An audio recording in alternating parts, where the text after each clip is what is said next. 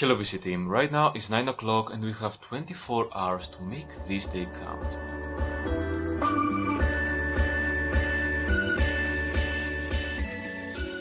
Today is a really special day because we'll analyze my whole degree, what exactly I learned and what I did. For this video I was really inspired by Jarvis that he analyzes what exactly he did for his computer science degree. So I want to show you parts of my degrees and what exactly I did in electrical and computer engineering. As you can see, this degree has two parts, so there are a lot of courses, and this is a five year degree. This meant that we had to pass 61 different courses and at the end do a thesis on a specific topic.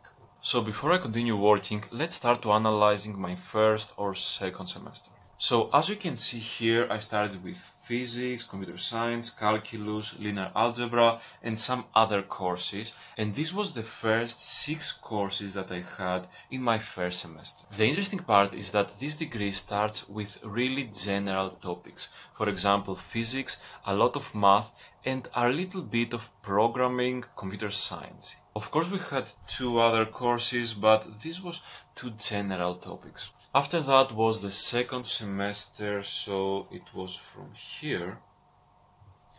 And we learned about object-oriented programming, applied thermodynamics, electrical circuits, structured programming, calculus 2. Oh, and at the same time we had probability and statistics. This meant that again we had a lot of math, statistics, and calculus 2. And at the same time we had object-oriented programming and structural programming. And of course we started with circuits. So as you can see we had a balance between electrical engineering and computer science. Okay, that's enough for now. I need to continue working in my CNN, which means convolutional neural network. See you in a bit.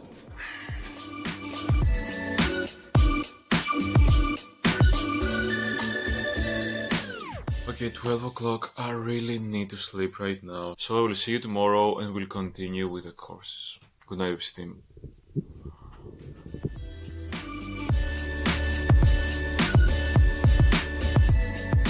Okay, right now is 10 11 i worked from 8.30 and this is a great day right now i want to really understand what i'm doing in my tensorflow neural network and then i have so many different works outside of the office okay let's give a quick analysis about my first year in my university because this is the important part, not only to see what exactly I'm working on my university, but understand what you need to learn in order to become an electrical and computer engineer. So from my personal point of view, this is generic things that you can learn in less than 3 to 4 months. For example, Physics 1 is completely unrelated and it didn't help in many aspects of my university degree, and also the computer design doesn't really help because it is a surface level course. Also, I think that the programming courses, the object oriented and the structure programming course is really generic and really easy to learn. The important courses for me is the mathematical that you can't really learn by yourself except if you really work. For example, I'm thinking that you can do some online courses in Calculus 1, statistics and linear algebra in order to really understand what is going on in the mathematical world and then have the ability to use it in your programs or in digital circuits and in general whenever you really need them. So again, from my point of view, if you're starting right now your university, think again to work more in the mathematical field. This is something that seems like pointless, but at the same time it will really help you in the long run. So give me a second to work and we'll talk again about my second year in Olive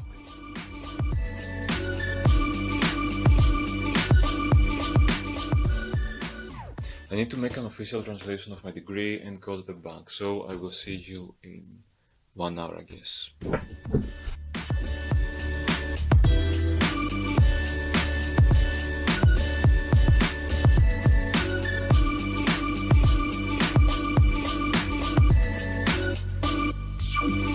Okay,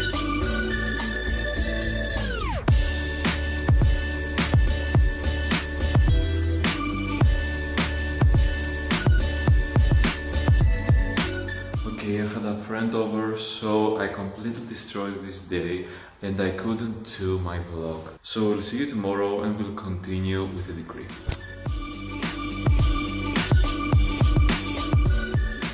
Okay, hello PBC team. Right now is 10.37. I woke up about two hours ago and I worked in the CNNs.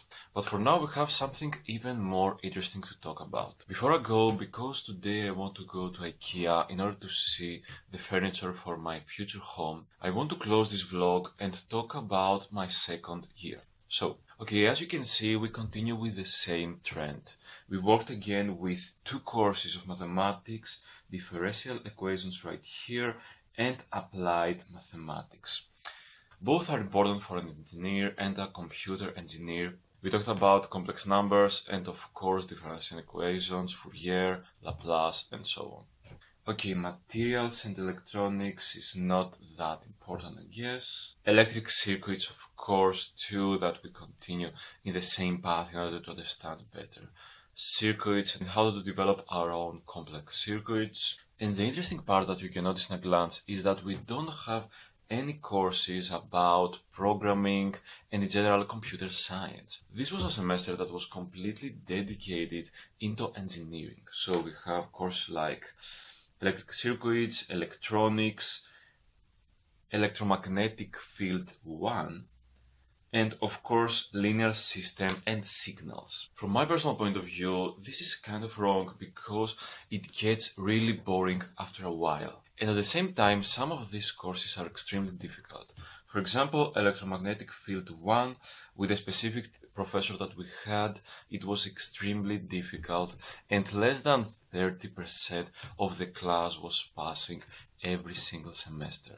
So this was extremely difficult for all of us. Okay, let's go to the fourth semester, so to the final part of my second year. As you can see, we continue with the same trend. We have electrical power technology, electric circuits 3 again, digital systems, which comes after the signals 1, electrical field 2, which was also extremely difficult, even more difficult than the previous one, and finally numerical analysis. This is something that involves programming, but at the same time, it is extremely interesting about mathematics. It's the combination on how you can bring math into your computer, your algorithms, and so on.